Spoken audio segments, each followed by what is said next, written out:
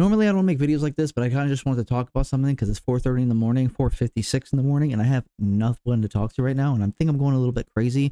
I don't know if I'm just like smacking copium against my lips, just trying to get a high or something. I don't know what it is, but things just don't feel right. But let me tell you something. I just started playing CS:GO not too long ago. Oh, CS:GO, Counter Strike, for the first time ever. I never played CS:GO. I never played Source. I didn't do any of that stuff. But let me tell you what. I am hooked. This whole world is new to me.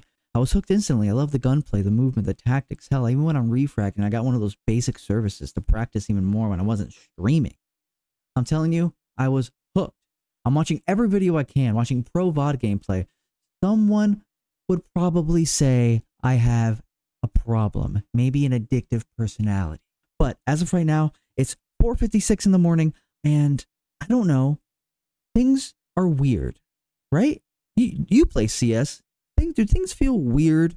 And I don't know. I wanted to be wrong about this. I just wanted to maybe just admit to myself that I'm not as good as I think I am, you know? After 600 hours in aim labs, 4,000 hours in Tarkov, 3,000 hours on Apex, thousands of hours on any other FPS I can get my hands on because I just I just like I like FPSs. I'd like to be competitive and I like to make fun videos of me just duking on guys because it's fun and I like to make other people happy and blah blah blah.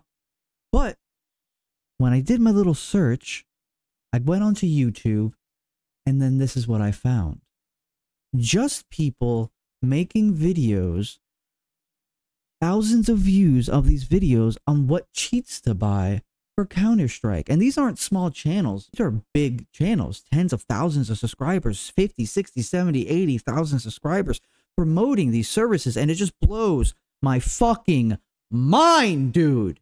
I watch these videos and the people in these videos will down talk to these people who are not cheating and there's oh my god dude it's it blows my mind. I'm gonna go crazy. I just wanted to talk about it. It's just is this is this have you experienced this? Am i going fucking crazy? Is the cheater problem really that bad? Or but i mean i mean look at it.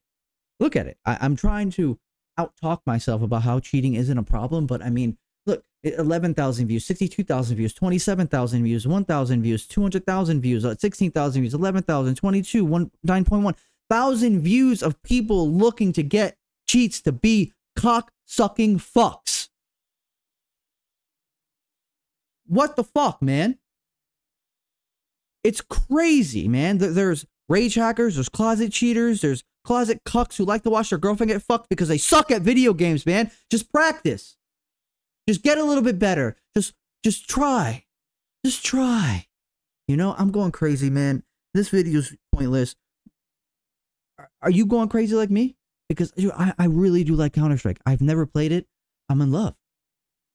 I don't want to go back to Tarkov. Tarkov hurts me emotionally because it's such a broken game and all the copium I've injected into my veins from playing that game. I found something that I can just play by myself and play with friends and have a really good time doing it. And I really like getting better and learning and watching the tournaments, blah, blah, blah. It's a lot of fun. But when I see stuff like this, the best public undetectable cheat for CS2, it blows my mind it, it's just I understand that there's a hustle behind it. I get that you that people are making their money and all that shit, but bro, it's it's crazy. I'm done. I'm out. Fuck me, dude.